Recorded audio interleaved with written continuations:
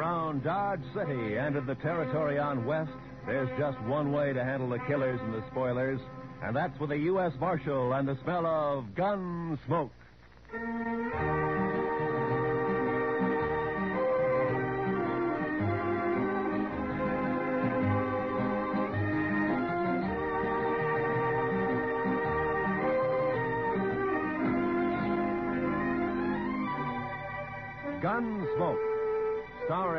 William Conrad.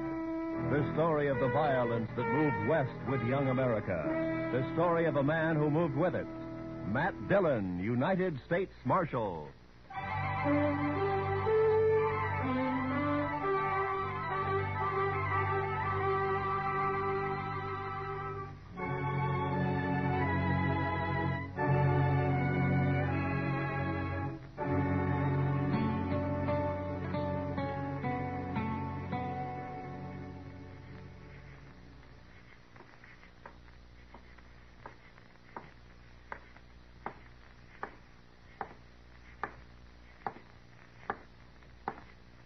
Hey. Over here.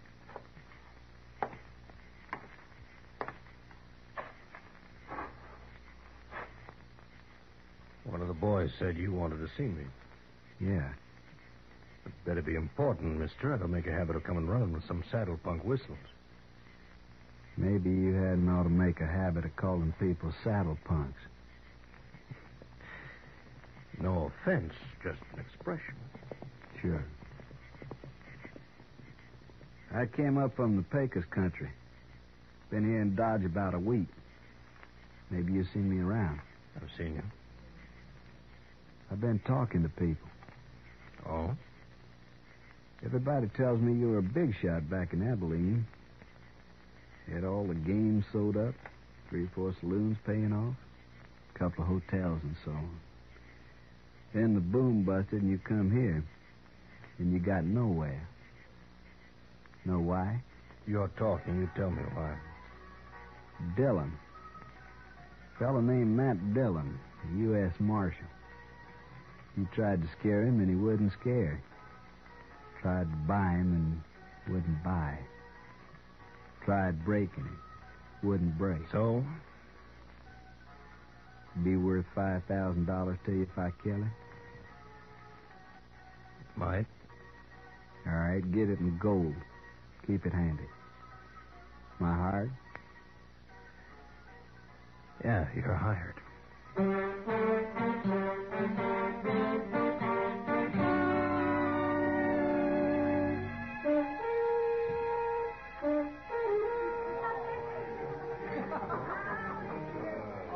Chester, I know you've been sick and you still got a cold, but is there anything else wrong? What do you mean, Mr. Dillon? Well, you haven't said three words in the last 20 minutes. That's not like you. Well, Mr. Dillon, did you ever get a funny feeling somebody was keeping an eye on you? Well, yeah, but. Uh... Well, I got one right now. Chester, I think you've got a touch of the heebie jeebies. Maybe. But I tell you, I know there's Well, as somebody... far as I can see, there's nobody in the whole place even paying any attention to us. Somebody is. I had the same feeling the day the Butler brothers come back from Santa Fe. Yeah? I didn't even know they was in town, but I knew somebody was getting ready to call us. And about six that evening, they made their play, remember? Yeah, I remember. I was one of the pallbearers the next day. Well, it's the same thing now. There's going to be trouble, Mr. Dillon. You can bet on it. I think you got the wind up over nothing, Chester. Why, the town's never been quieter. Jail's been empty for two weeks. Only new faces around is that bunch of trail drivers that came up from the Pecos. They're all strangers. None of them got any reason to hold a grudge Oh, against... uh, there you be. What? I've been looking all over for you, Marshal. Oh, hiya, Billy. I Waited over to the jail for nigh on to an hour. I've got to talk to you, Mr. Dillon. Uh, I- I'm sorry, Billy, but every time I give you money, you, you buy yourself a bottle and then Oh. stay blind drunk for two days. it ain't money this time, Mr. Dillon. I got something to tell you. Oh? What? Something I hear. There's a couple fellers talking over to the liver stable. They didn't see me. I was back at the water trough. Hmm, sort of, well, resting, you might say. Yeah, I know. W- well, you know how it is, Mr. Dillon. The man gets dry in this prairie country, and he just what were they takes- talking about, Billy? About you. One of them offered to kill you for five thousand dollars in gold, and the other and took him up on it. Uh, there, what did I tell you? Who were they, Billy? Do you know 'em? No, sir. It was dark, and I didn't recognize their voices. They was already there when I woke up, and they left right after that. Well, maybe they. Well, Maybe it was just some kind of a joke. Oh, it didn't sound that way to me. No, sir, it's no joke, Mr. Dillon. I told you I felt it. There's somebody in this room right now, somebody who's been hired to kill you. Yeah, but who? I don't know.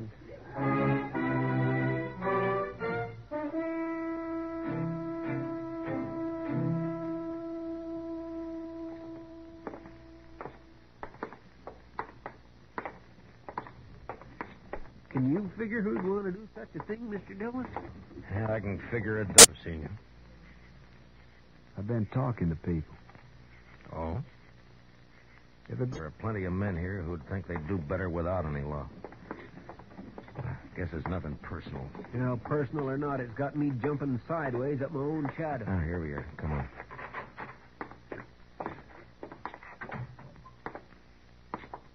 Well, morning, Marshal. Haven't seen you since the robbery last month. Attempted robbery, Mr. Greeley. Yeah, so it was, thanks to you. Well, Mr. Dillon, the bank's at your service. What can I do for you? Give me some information, if you will. Well, if it isn't confidential. It is, but I want it anyway. Well, I hardly know what to say. Perhaps you'd better step into my office. This way, gentlemen. Thank you. Yeah, after you, Mr. Greeley. Now, just what was it you wanted to know? I want to know whether one of your customers has drawn $5,000 in gold from the bank in the last few days. Any particular person in mind? No, that's what I want to find out. Well, I hope this won't go any farther, Marshal. So somebody did, huh? Who was it, Mr. Greeley? I certainly wish to make it clear that I don't approve of this man, but after all, he is a good customer, and it's not my place. Yeah, to- yeah, I know. Who was it? Lawson Hale. Lawson Hale? Yeah, he took the gold out just this morning, as a matter of fact. Said he was working on a cattle deal of some sort. Yeah, figures all right. Hale's tried to move in on this town ever since he came here. Every time he's tried, I've stopped him. I do hope you'll regard this as confidential. Yeah, gentlemen. sure, sure. Well, Chester, we know who one of them is now. Yeah, but who's the other, Mr. Dillon? The one who's actually going to do it. Some punk who wants $5,000 real bad and doesn't care how much he has to do to get. That sure doesn't narrow it down any. Yeah, I know.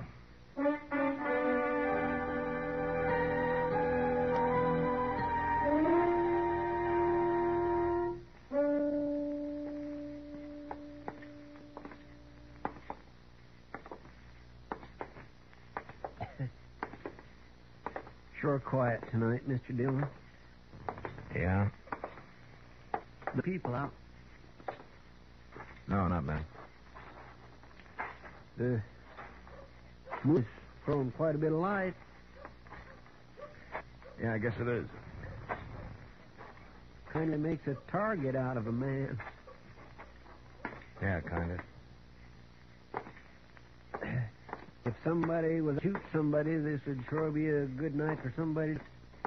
I suppose so. Mr. Dillon, Hmm? do you mind if I make a comment? Well, I thought that's what you were doing, Chester. Let, let's go on back to the jail and stay off the streets. This way you're just asking for it. Chester, if it's going to come, it's going to come.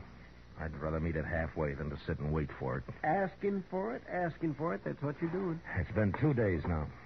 It gets on your nerves.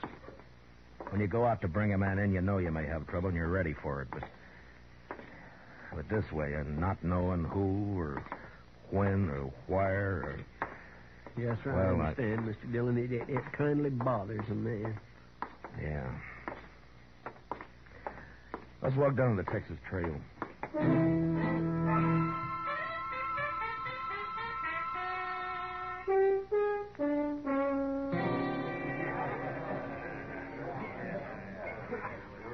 Good to see you, Matt. You've been avoiding us the last couple of days. Busy, Kitty. Something bothering you, Matt? Bothering me? Yeah. Whatever gave you an idea like that? Mr. Dillon, What is it, Chester? Lawson Hale just come in. He's down the bar there. Oh, yeah. Maybe you ought to have a talk with him. Well, that's one way. That's the one I haven't tried yet. Excuse us, will you please, Kitty? Well, sure, Matt. Uh, whatever it is, be careful, huh? Abilene was wide open. Yeah. I had it right in the palm of my hand. Yes, so? The minute the trail driver hit town, the boys would grab their pay and they'd head straight. Something I can do for you? Yeah, I want to talk to you, Mr. Hale. Well, I don't see anything stopping you. We'll move down in the bar a ways if you don't mind. It's kind of private. Sorry, Marshal. I'm fine right here. I said we'll move down the bar. If it's that important. Pardon me, boys. The marshal's all head up about this. Oh, sure.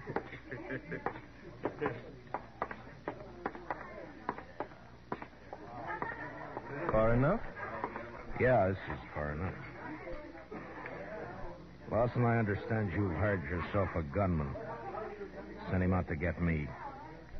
Offered him $5,000 in gold. I don't know what you're talking about, Dillon. Wouldn't care to tell me his name. No, I don't think so. You see, I don't know anything about it. What's he waiting for? He's had two days now and he hasn't made a move. Like I said, Dillon. Why don't you I- do the job, Hale? You're wearing a gun. Maybe save yourself some money. I've got no quarrel with you. You mean you're yellow? Scared to call your own play? I said I've You're got a no... weaseling, no good coward, Hale. I'll let it ride for the time being. Yeah, I thought you would.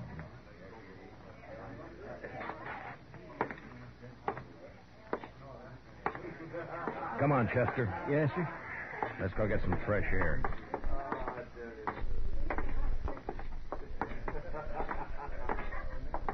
Well, I guess he's just not the kind to take chances, Mr. Dillon. And not when he's got a hired killer out prowling somewhere. Chester, I'm going to run him out of Dodge if it's the last thing I ever do. Dodge can stand it. I only knew who he'd hired. And I could force the play myself. This blasted business of having to leave it up to the other man. Waiting, waiting near Over there by the stable. Yeah, I saw the flash. Maybe you got him, Mr. Dillon. I don't know. Let's move in and find out. Yes, sir. Watch yourself, Chester. You may be playing possum. Yes, sir. The flash was right here by the corner. Yeah. Well, that's that. Looks like he got away, Mr. Dillon. Yeah, he's gone. Took one shot and then ran for cover. He'll be back.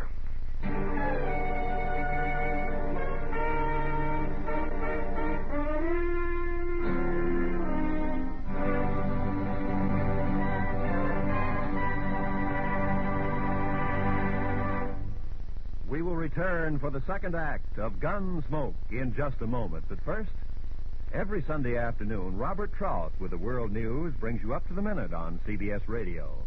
A special feature on this program every Sunday is a flying visit from one of our noted overseas news correspondents. Remember, tomorrow, for well rounded views of the news at home and everywhere, don't miss Robert Trout with the news of the world on most of these same CBS radio stations. And now for the second act of Gunsmoke.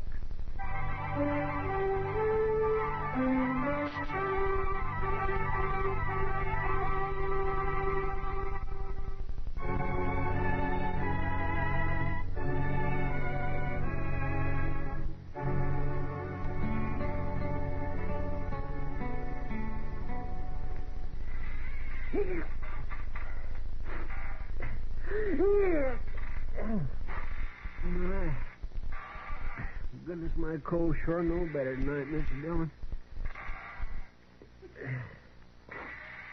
My, that fire sure feels good.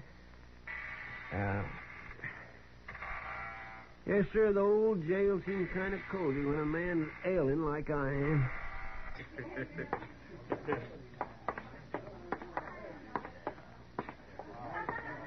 Somebody to put a bullet in the back of your neck. Will you stop squeaking the chair? Well, sorry, Mr. Dillon.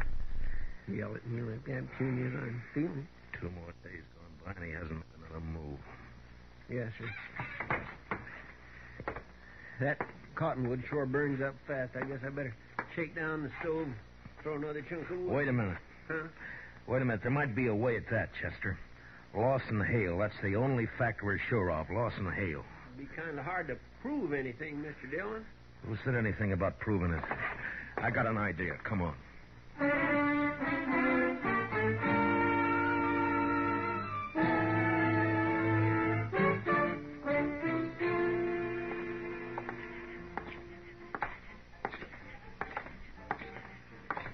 Which one will we try first, Mr. Dillon? Uh, the Texas Trail, I guess. He'll either be there or at the Longhorn. All right, Mr. Dillon. What you gonna do? Gonna arrest him, since he won't fight. We saw him back down the other night. Yes, but you got no evidence. M- Mr. Dillon, you can't make it stick. I don't intend to, Chester. Oh, then I don't see what. What I say. can do is scare him. And if I figure him right, I think he's gonna scare easy. Hmm. Maybe so, but all the Ah, same. look. Look, there he is, Chester. Just came out of the Longhorn. A couple of fellows with him, Mr. Dillon. You, you don't suppose one of them could be. No, no, they're hanging around for the free drinks. There's not an ounce of nerve in the three dozen of them. Come on, let's take him. Yes, sir. The whole herd. Hale? Uh, Hold it just right where you are. what seems to be the trouble now, Marshal? No trouble. Unless you want to make some. You're under arrest. What for? I'll think of something later. Stick out your hands. Whoa. You're taking me in without even making a charge? I'll remind you that witnesses here. Yeah, so I notice. When they're not hanging around you, they're around somebody else. What have you done, Hale? Hired them, too? I asked you what the charge was, Marshal. Vagrancy? Vagrancy. As far as I know, you've never had any visible means of support as long as you've been in Dodge I'll match any dollar of yours with a hundred better ones. Well, that's fine. That'll help pass the time. Now, stick out your hands. Oh, look here, Marshal. If Shut you up. Think you... All right, Chester, put the cuffs on him. Yes, sir. All right, hold still now. What? Dillon, I'll... I'll break you for this. It's been tried before. All right, boys, break it up. The party's over. Uh, uh. You've had your last gus pump. All right, Shule, let's go to jail.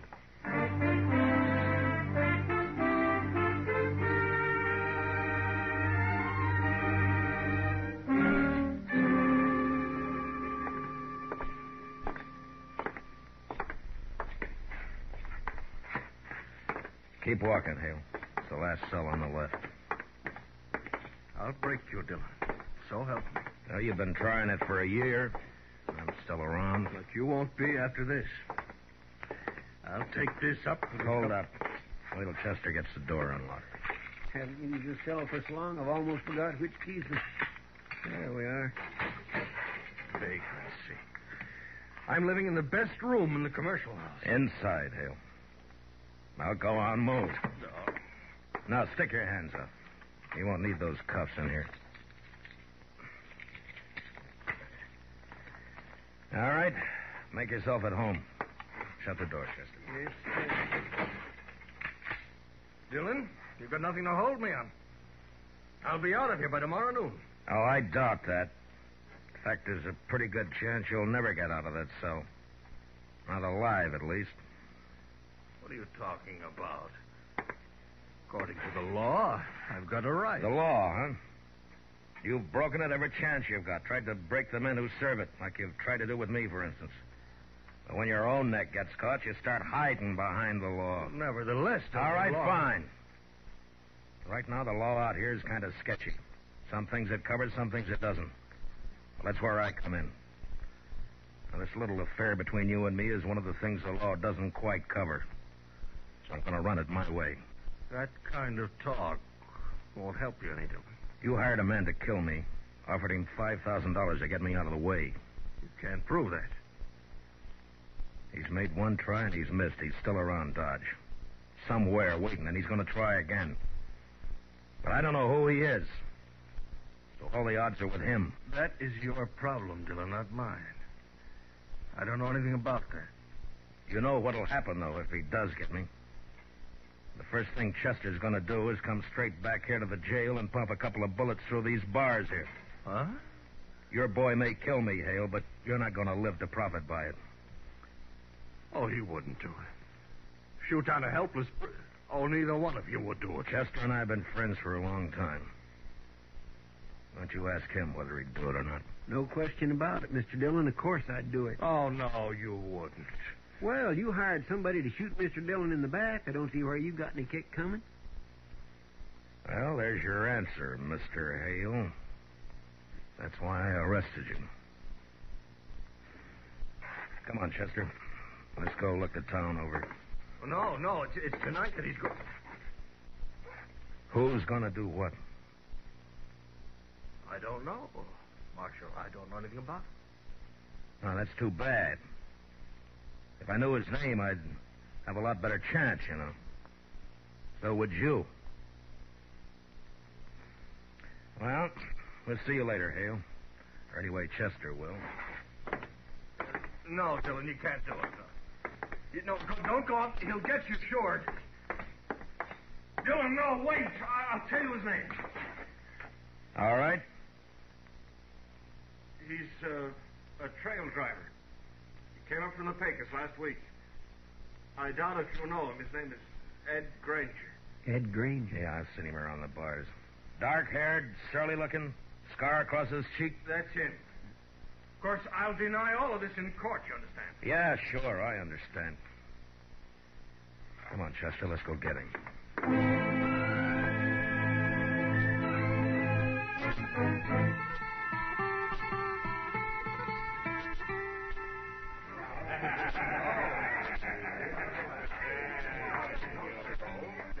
Look, he's here all right, Mr. Dillon. Over there by the piano. Yeah. Looks like he's by himself. What you gonna do? Arrest him? Well, there's no evidence, Chester. The only way I see is to make it personal. Let's go. Yes, sir. Now, I want you to stay out of it, Chester. Just cover me, that's all. Whatever you say, Mr. Dillon.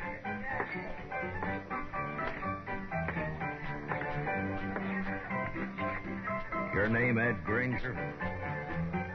Might be. What about it? You know who I am, don't you?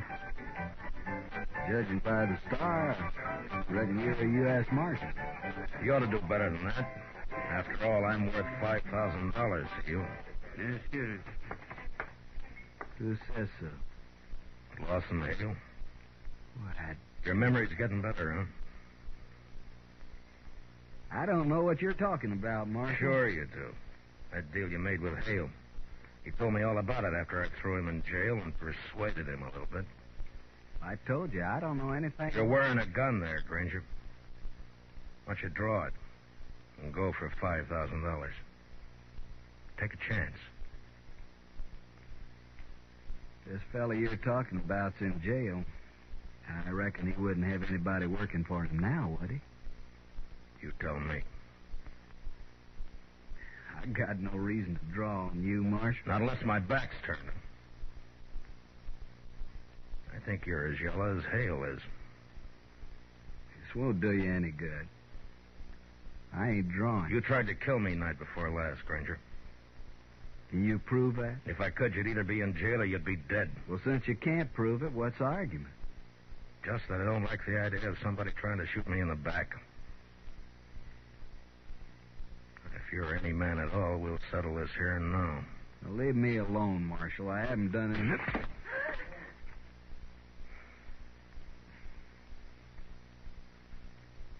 Now, you still figure you got no reason to draw on me?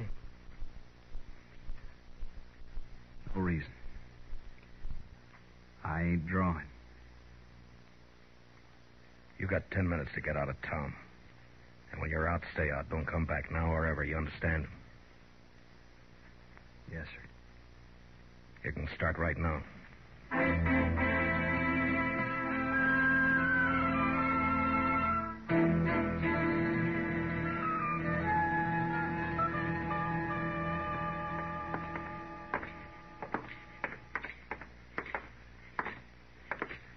Must be nearly midnight, Mr. Dillon. Yeah, about that, I guess, Chester.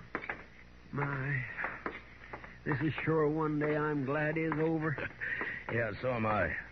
At least I can breathe a little easier now. Mhm. I think I'll get this fire built up a little bit, Mr. No, Dillon. leave, leave it, Chester. Let's go take care of our prisoner first, huh? Hey, we still haven't got any evidence. What, what are we going to do about him? Same as with Granger. Turn him loose and run him out of town. They should have done it months ago. You got the keys? Yes, sir. Right here, Monk. Mr. Dillon? Huh? What are you looking at? Oh. Granger must have stopped by here on his way out of town. He, he must have got Hale over at the window for a talk and then grabbed him and cut his throat right there. Yeah. Figured Hale had sold him out, I guess. Look, he's here all right, Mr. Dillon. Over there. I guess Hale got pretty much what he bargained for. He hired himself a killer in order to kill him.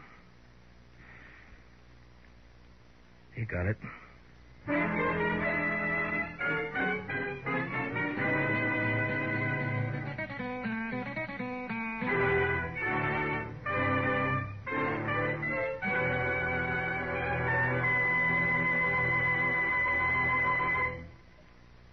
Gunsmoke, under the direction of Norman Macdonnell, stars William Conrad as Matt Dillon, U.S. Marshal. Tonight's story was specially written for Gunsmoke by Les Crutchfield, with music composed and conducted by Rex Koury.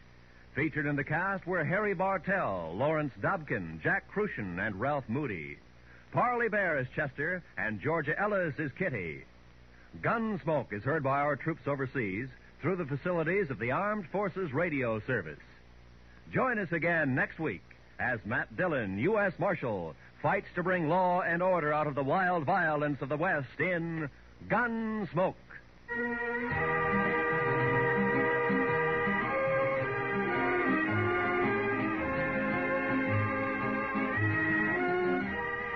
Like Old Man River, the comedy just keeps rolling along every Sunday night when CBS Radio presents Amos and Andy. Tomorrow night, over most of these same CBS radio stations, the Kingfish is sure to be up to his usual monkey business. And it's sure to make a monkey out of gullible Andy Brown. Listen for yourself. Don't let one single minute of the fun get away. Tomorrow and every Sunday night, it's Amos and Andy on CBS Radio. This is Roy Rowan speaking.